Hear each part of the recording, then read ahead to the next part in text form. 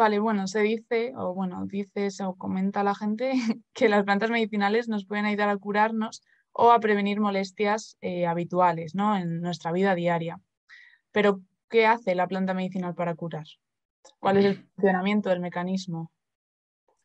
Pues a ver, esto es muy interesante porque muchas veces nos ponemos a pensar de por qué cura una planta medicinal, ¿no? Y dices, pues están ahí para curarnos, pero es que eso no es así. O sea, las plantas medicinales no viven por y para nosotros. O sea, las plantas medicinales producen sus, sus principios activos para protegerse del medio ambiente. Es totalmente egoísta, pero es así. O sea, una planta produce este principio activo porque está en una situación de estrés en donde está creciendo y ese principio activo, pues a lo mejor es un veneno para animales, o le hace ser más resistente, o le hace aguantar temporadas de frío o climas extremos, ¿no? Y lo hacen para protegerse. La cosa es que a nosotros nos sirven esos principios activos. A nosotros como especie, pero también a los animales. Que los animales no, los animales no nos encontramos yendo a, urgencias a, tomarse o cualquier cosita, ¿no? ¿no? No te encuentras a un lobo yendo al veterinario. Pues el lobo también tiene que curarse de algún modo, ¿no? y ahí las plantas medicinales pues son, su, farmacia. Y, sobre todo de cómo funcionan, tenemos que entender bien, eh, antes de nada, pues las, opciones que tenemos, ¿no? antes de, ponernos a, ver qué, qué, tomar o no tomar, no tomar cualquier cosa que se nos presente, porque eso puede ser una tontería ¿no? y es importante.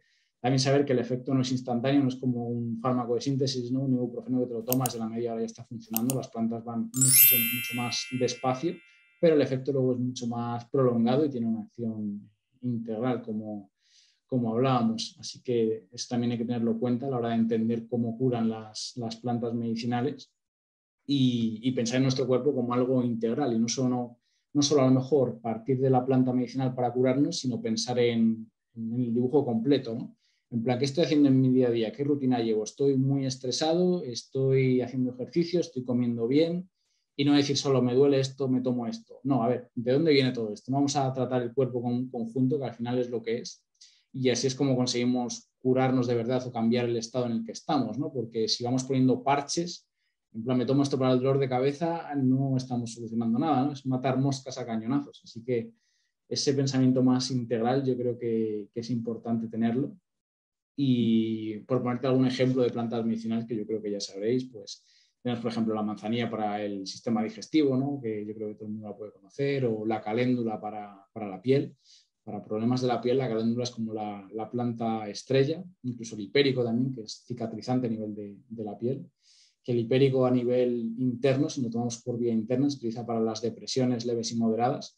Es una de las plantas más eficaces para esto, pero también tiene muchas interacciones con, fármacos de síntesis. Así que al final ni todo es bueno ni todo es malo y, es importante entender lo que hacemos para, para ver cómo curarnos y ver cómo las plantas medicinales nos pueden ayudar.